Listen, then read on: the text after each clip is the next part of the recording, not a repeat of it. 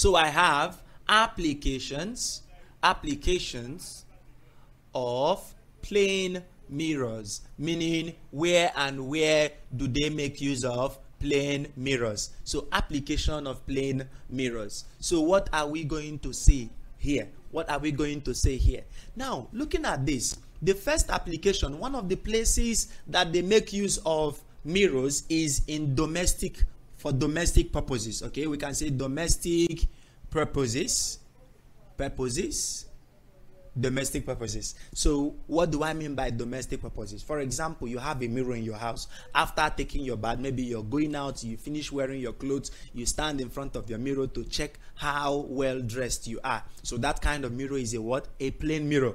Another domestic um, use case is the one in your bathroom. Let's say you're brushing your teeth in the morning and then you are looking at that mirror in your in your bathroom. You see that that mirror is also what? Is also a plane mirror. So it is a domestic use and so many other applications. Okay, then the number two, we normally use the plane mirror in an optical device called a periscope.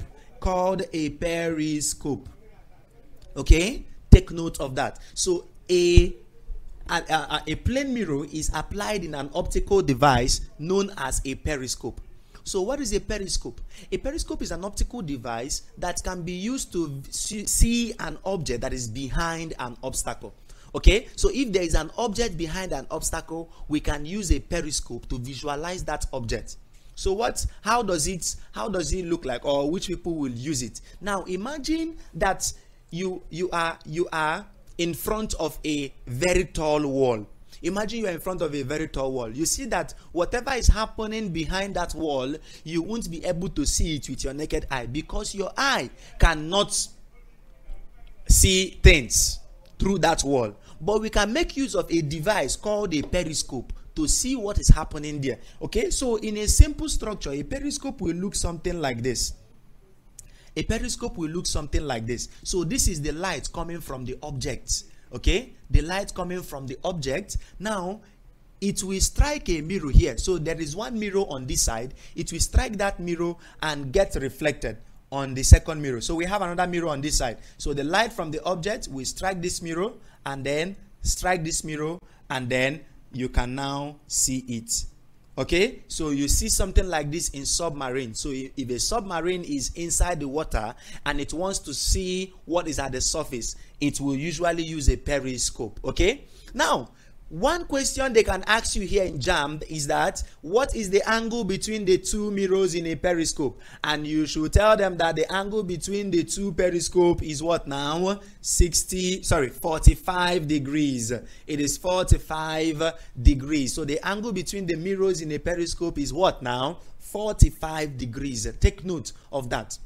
Now, one more thing. In real life applications in real life applications they don't make use of periscopes.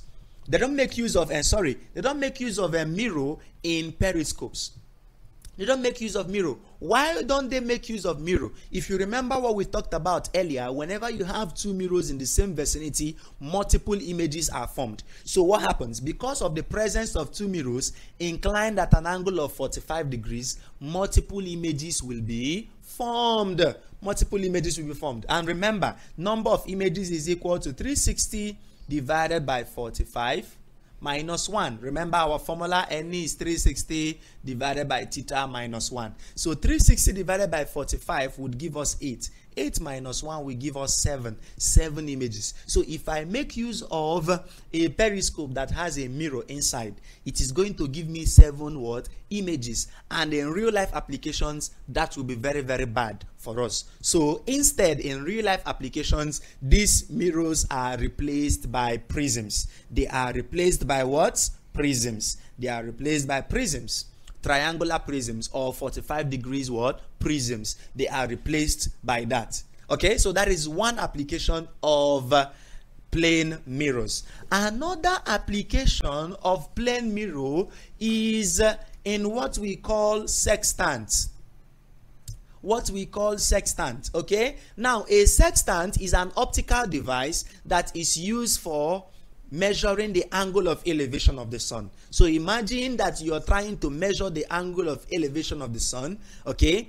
The instrument you will make use of to measure that is what? A sextant. It is a sextant. So take note of that. Very important. Number four, another application of plane mirror is in what we call kaleidoscope. Kaleidoscope. Okay? Now, a kaleidoscope is an optical instrument used by fashion designers for obtaining different color patterns on fabrics.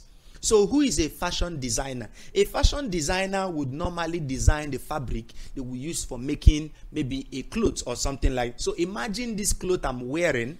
The person that designed the fabric of this clothes, the color and everything is the what? Is the fashion designer. And for them to be able to mix up colors and uh, maybe experiment on different colors and get what exactly they want. They make use of a device called a what? A kaleidoscope now a kaleidoscope makes use of two mirrors inclined at an angle of 60 degrees to one another. So take note of that. The angle in a kaleidoscope is 60 degrees. Now there is no fixed angle for the mirrors in a sextant. They are variable because we are measuring the angle of elevation of the water sun. So these are our applications of plane mirrors